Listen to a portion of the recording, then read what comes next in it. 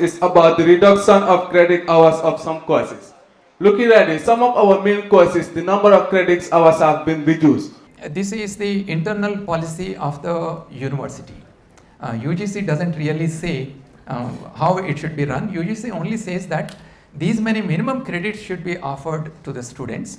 Uh, so it is something related to the autonomy of the universities. We don't want to have a uniform kind of thing across the universities other than the minimum credits.